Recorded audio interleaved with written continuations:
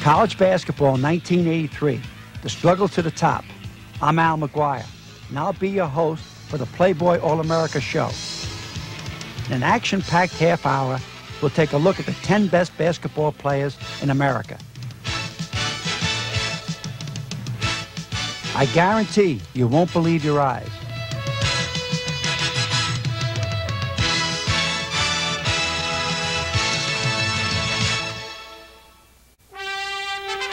The skyscrapers of Chicago were the background for some other kinds of skyscrapers. The 10 top basketball players in the country. And me, Coach Al McGuire, the guy on the right, got together for the Playboy All-American Weekend. We took a stroll back to the playgrounds to talk about the players' lives and their college careers. My co-host, Playboy sports editor Anson Mount, handpicked the team, and did he do a super job. Some of the most talked about players in the country were selected, as well as some unheralded players who will step into the national spotlight this season.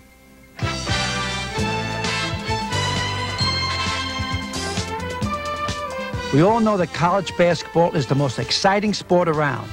In the next half hour, you'll see some unbelievable plays and meet some talkative blue chippers. So stay tuned for America's basketball superstars.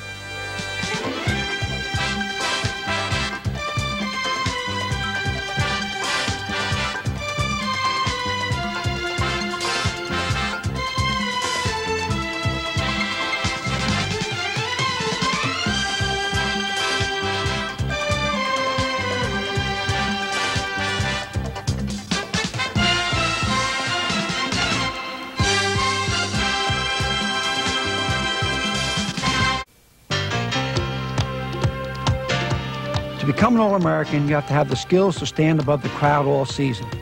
The competition is intense, and Playboy selects only those players who have combined consistency with brilliance.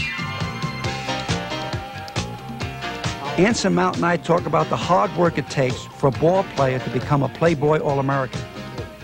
Well, looking over the list of these 10 blue chip thoroughbreds, I, I really think that they, they all will be high first round draft choices in the NBA when their moment comes, or when their class graduates, or they happen to go hardship in their sophomore or junior year.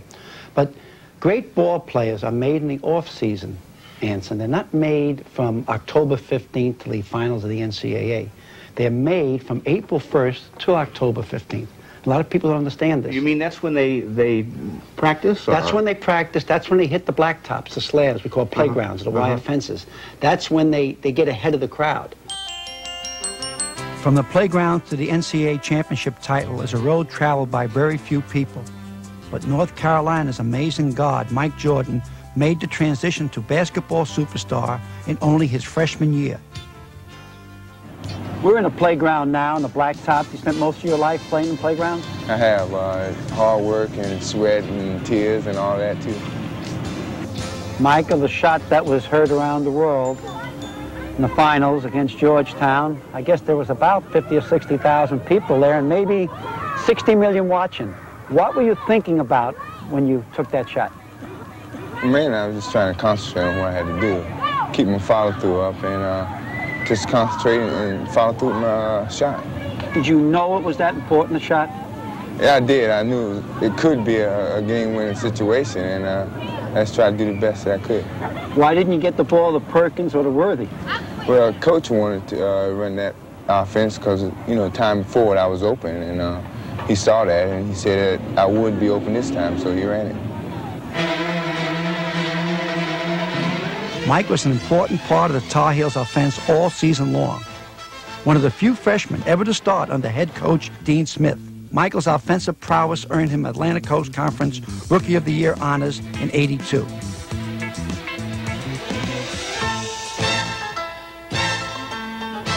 Hot dog may not be a nice term in college basketball, but when I visited the Chicago Zoo with a couple of the guys, hot dog smothered with mustard sure sounded fine. We're at the Lincoln Park Zoo here. You can notice the Chicago skyline in the background. I got two skyscrapers with me here. Dale Ellis from the University of Tennessee and Sam Perkins from the NCAA championship team and from New Orleans last year. Sam, getting that ring was a big thrill? Yeah, it was a big thrill for us. Uh, it was a great accomplishment, and we did a lot for it to get it. You know what's going to happen now? James Worthy uh, went hardship, so you're the leader. Well, I don't think it's the only leader there, but uh, he did go hardship, and we got other players who, uh, take the same responsibility as I will, and uh, we'll go together. I never thought I would see two players chosen as All-Americans from the same team. But Jordan and Perkins are both qualified. After all, Perkins was the ACC Rookie of the Year before Jordan. He may be small for center at only six foot nine, but Sam's super all-around athletic talent makes him tower over his opponents. Sam will be the key man in Carolina's bid for another championship this year.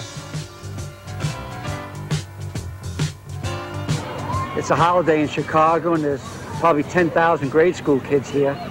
Dale, if you had an opportunity to tell these young kids something, what would you tell them? I would tell them that maybe life can be hard at times and to uh, you know, take the ups and the downs in stride and, and be happy with what you have. Uh, you know, I'm from a small place and I feel lucky that you know, I'm here today, you know, talking and been given a chance to uh, make a few All-American teams and I feel like, you know, I had a talent and, and, a lot of kids in my neighborhood that I grew up with had just as much talent as I did, but never really tried to work with their talent to improve. So I figured I would tell the kids to work at whatever talent they had to try to become the best. Dale Ellis may not be a household name yet, but after being second in the nation in shooting percentage and being selected Southeastern Conference Player of the Year, Ellis's senior year should be something to remember. Okay, and topping out this interview, who's going to win the NCAA next year? University of Tennessee. How about you, Sam? Well, I got to be biased. I got to go with North Carolina. you got to move that ball from side to side and get active here. And I want the swing, man. But to attain that championship season, a winning team needs the competitive edge of quality coaching. In 1983, every coach will be presented with a drastically changed game. As an experiment, the NCAA has sanctioned individual conferences to install the three-point play and the shot clock. Anson Mount talked about the rule changes with Virginia's Terry Holland, Playboy's Coach of the Year. Being instituted by some of the conferences. I think the Atlantic Coast Conference is also using it this year. It's kind of an experimental thing. Uh, how does it work? Well, we have talked about it for a long time. It wasn't something that happened, and a lot of people say, well, it happened because of the North Carolina-Virginia game in the ACC tournament, a game on national television in which there was a lot of stalling, and that's what precipitated the clock. It's not. The ACC coaches voted five years ago for a shot clock. Now, we knew the athletic directors would turn us down, and we really didn't want a shot clock unless the rest of the country was going to go to a shot clock at the same time. Mm -hmm. So what we were saying was we're in favor of it. We want everyone to know that we're in favor of it. But we're not going to change our conference rules until the whole nation changes their rules. We don't want to be put at a disadvantage in NCAA play. Finally, this year, we said it's time for us to take the lead. It's time for us to do something. The tremendous argument against the shot clock is that if you use a 30-second shot clock, people will full court press, drop back into a zone defense, and everyone will end up playing the same type of defense. So we added the, the three-point play from 19 feet, which is a good three plus feet closer than the professional three-point play. We wanted something that would be a part of the game from the beginning of the game. Anyone in college basketball certainly has the potential to make a three-point play from 19 feet. So this will help eliminate the zone defenses. You'll be forced to match up. You can't leave the good shooters open. The success or failure of the rule changes will be decided this season. But one rule of the game will stay the same. Ralph Sampson will be awesome. In a minute, I'll have an interview with college's favorite aircraft carrier.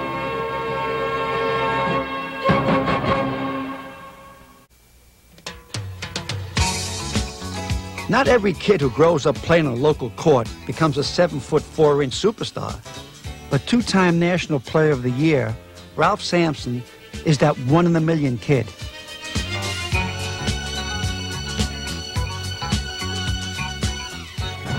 I've been saying that you're going to be the greatest player that's ever lived six years from now.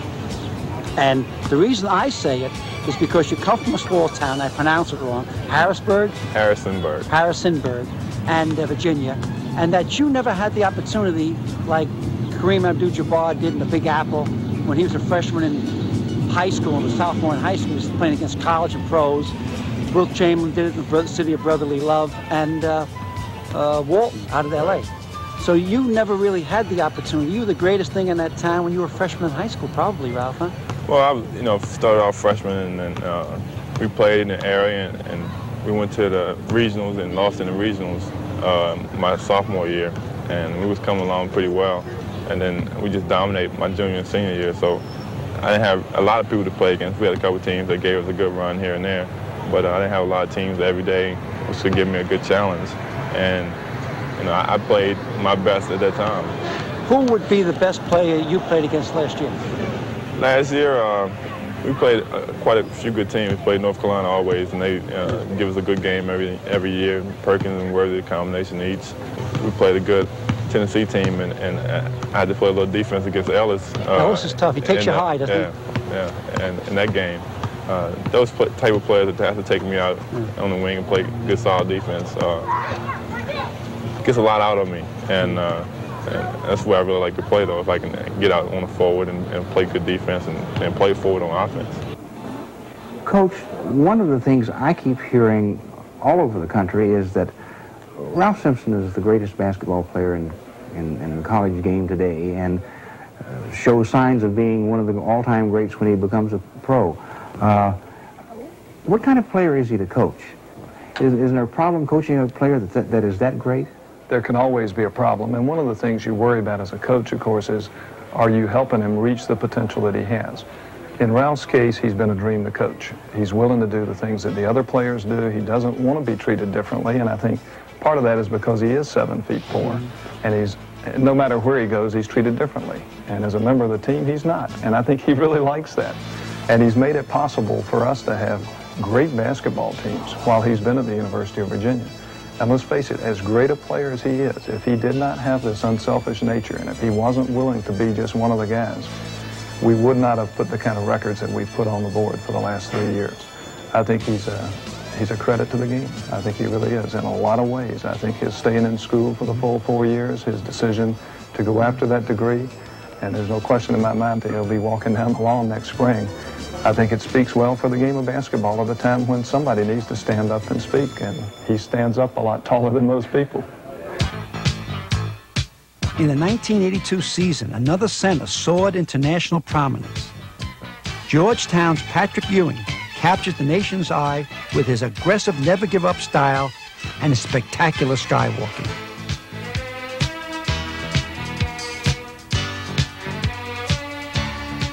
A lot of coaches seem to say that Pat Ewing is as good as Ralph Sampson. What's your opinion? I think Ewing has made tremendous strides in his initial year. John Thompson did a magnificent job of peaking him at the right time. And I think from a defensive standpoint, I think they're, they're totally different players, that Ewing will become uh, one of the, the great players in, in basketball history.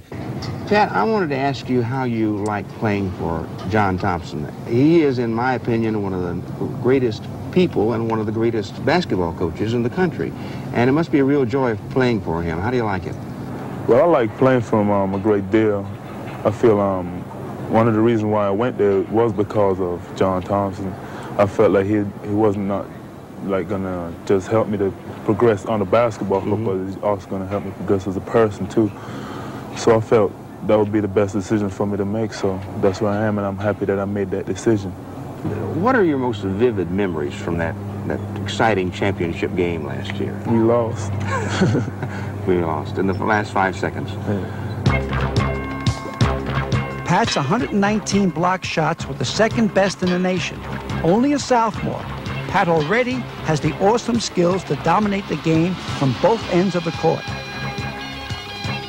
You know, we're talking about Pat Ewing and Ralph Sampson, but we're forgetting the guys with the same cut of cloth. Sam Bowie from Kentucky. Now, last year he had a bad wheel. But where do you put him in this entourage? Well, I think uh, Bowie, of course, uh, uh, has really made great strides physically. He was not a very physical player as a freshman. He was a very physical player as a sophomore. He was on the Playboy team a year ago. I think, barring any injury, Bowie will become one of the dominant forwards. Now, he likes to play forward, and I think that's his, uh, his best position. Uh, he can shoot, he can handle the ball, He's uh, got some good power moves. He may be forced to play center in pro ball, but I personally think when he eventually turns pro that he'll be one of the better forwards in the history of basketball because he can do a lot of things at seven feet.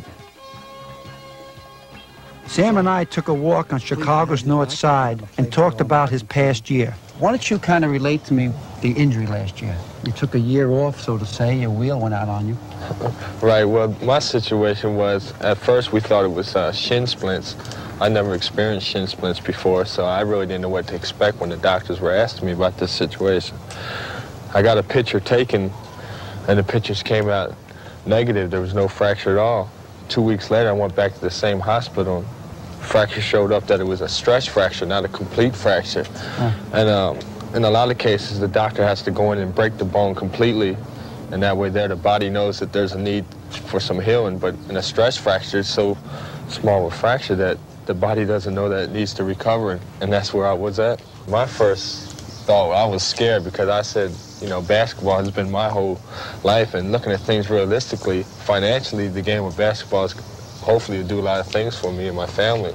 So um, I was scared myself, and then every three to four weeks I would go back to the doctor and expecting him to give me the go-ahead to start working out, and, and, it would show up on the films that it was still not completely healed. Well, you're now the breadwinner. It's a sad story. Your dad died last year quite suddenly. Right, my dad was probably one of the most influential persons in my life, especially in the game of basketball. I've been raised around the basketball environment, and uh, like I said, that was a shock to me, and I still feel as though I have an obligation for him and my mother and my sister, and I just hope that obligation will be fulfilled. Although Sam has been out of action for more than a year, everyone still expects him to tear up the league when he returns. Stay tuned as Sam and his buddies visit Chicago's Wrigley Field. doing, baby? What's up? All right. All right. Hey, I got some. I can dribble now. Being at Wrigley Field to meet the Chicago Cubs was a lot of fun for the guys. Sam,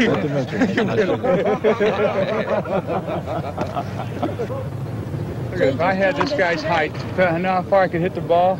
See that Torco sign up there? While the Cubs warmed up for their game, I talked with one of the nation's top guards, Jon Sundvold of Missouri about his radar shooting.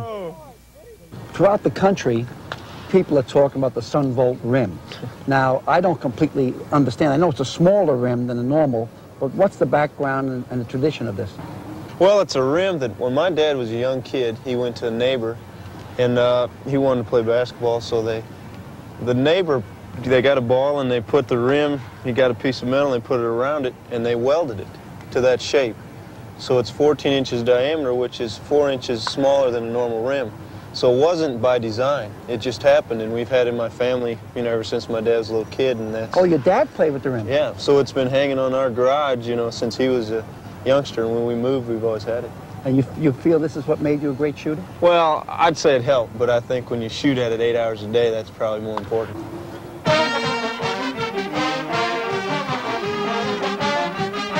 While Jon has been at Missouri, the Tigers have won three consecutive Big Eight titles.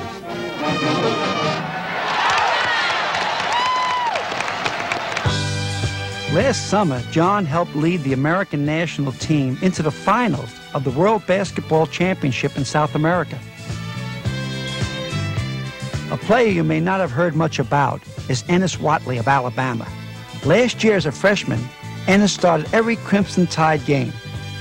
Playing point guard, he had 178 assists while averaging 12 points a game.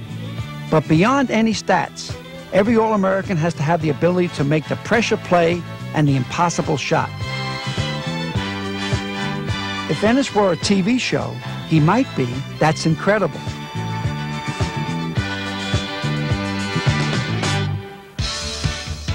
Freshman Keith Lee of Memphis State might have been the biggest surprise of last year. The 6'10 forward led the Tigers in scoring and rebounding. His 102 block shots were among the best in the country, and he was the only freshman last year to average in double figures in both scoring and rebounding. Keith Lee is probably one of the true franchises in college ball.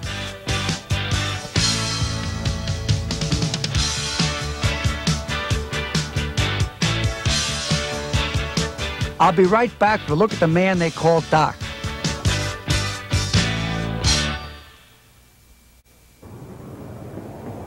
Playboy All-America Glenn Rivers grew up in Chicago, and Glenn and I returned to his dad's record shop to talk about Glenn's career. Comes a time in everyone's life that they have to gently pack the basketball away. Then what? Well, I'm in political science now and I'm minoring in business and plan to go to law school sooner or later. Hope to have a pro career and I'll go to law school during the summer. It'll take a while, but I definitely want a law degree. Do you feel any like um, degrading being a ball player, being an athlete in college? Is there a tendency for people to underestimate your intelligence? Yes, that's a big problem in college. Uh, when I walk in class, people look at you and laugh almost, and uh, just thinking you feel. Just thinking, yeah, I'm, I'm, there just so I can uh, have attendance, and the teacher give me the grade. That's not true. Uh, at least it's not true at Marquette. I can't speak for other schools, and that makes you feel bad. It makes you feel like the dumb jock that everybody thinks you are. And they're stereotyping, and I don't think that's fair to us because I think most athletes are pretty bright. When Glenn goes to court, the defense can never rest. Known at Marquette as Doc, Glenn's 180 and 360 moves defy the law of gravity. With 65 steals last year, Doc rested his case.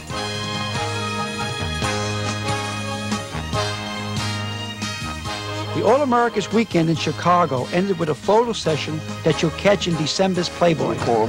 Okay, what's your name? Mike? Okay, Mike and Ralph, just, I gotta get a little space right here. This is the center of the page. So you guys will be in the gutter and we won't see you. So we'll leave a little space right here, okay?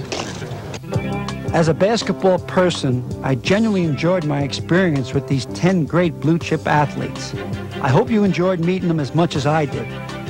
I know that we'll be seeing great basketball this season from the Playboy All-Americas.